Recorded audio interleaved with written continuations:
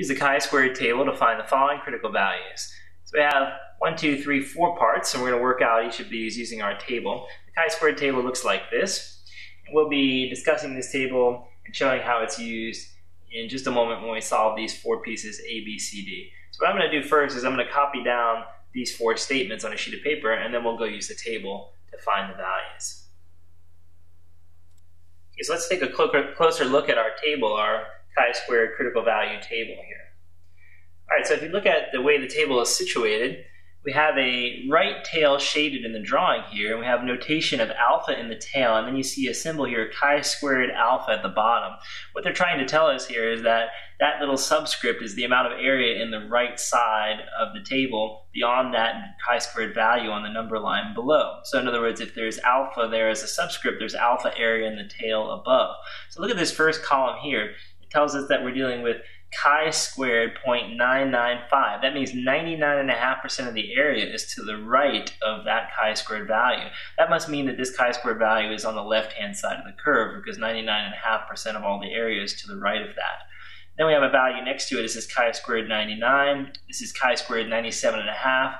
This is chi squared 95 and chi squared 90. So these are essentially like the left side of the chi squared curve or the chi-squared number line. What we want to do for the most part in our course is really look at um, right-sided chi-squared values. So we're looking for usually a right-tailed test to have the critical value for that test.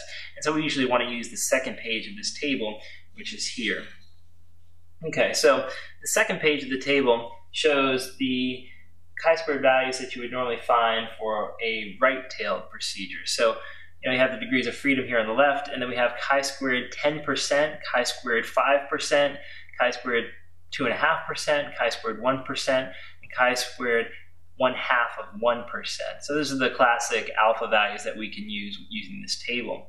All right, so basically what we want to do now is to work out those four critical values that they asked us to find in the question, right? So I've rewritten them here so we can use this paper to describe them. So we have here that um, the first one we want to find is chi squared 0.05 with 15 degrees of freedom. That's chi squared 0.05, 15 degrees of freedom. So let's go find the 0.05 column of our chi squared table. Let's see if we can find that first.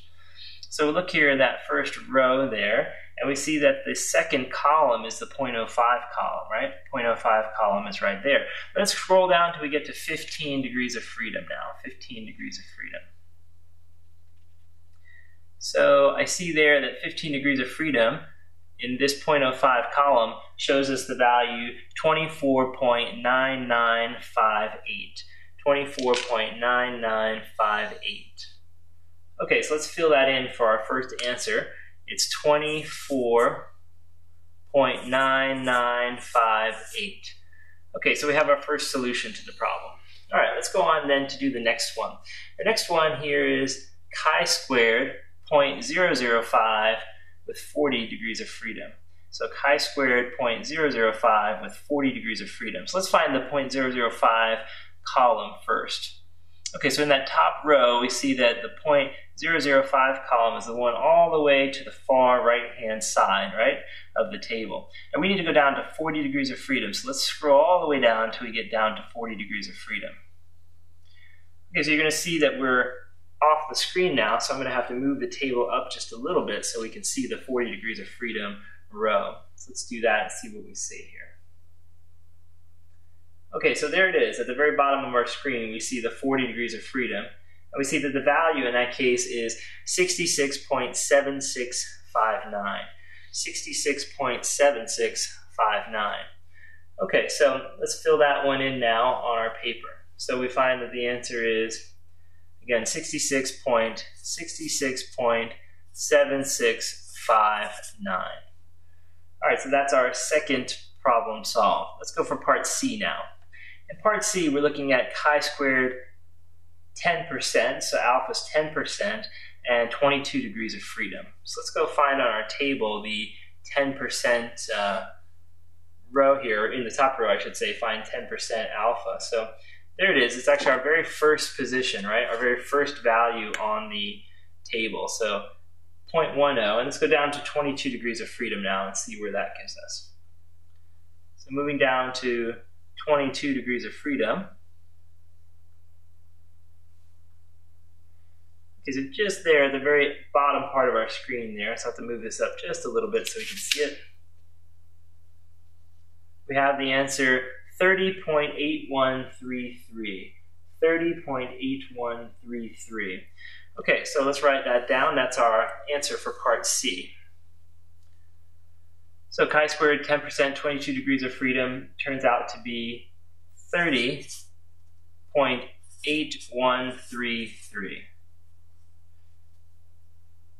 Okay, now let's do our very last piece of the of the problem here, the very last part of it, which is part D. We're asked to find chi-squared 0.025 with 50 degrees of freedom. So that's 2.5% in the right tail with 50 degrees of freedom. Let's go see if we can find that on our table. Let's first find the 0.025 column. So looking at our top of our table, we see that 0.025 is actually the middle column, right? 0.025 is the middle column. Let's scroll all the way down until we get to 50 degrees of freedom now. Well, you see 50 degrees of freedom, of course, is off the uh, screen, so we're going to move this up just a little bit to find 50 degrees of freedom there. For the middle column, we see that the answer is 71.4202. 71.4202. Okay, so that's our last and final answer for this problem, finding chi-squared critical values using the chi-squared table. So our last uh, answer for this, part D, is 71.4202. All right, and that's it.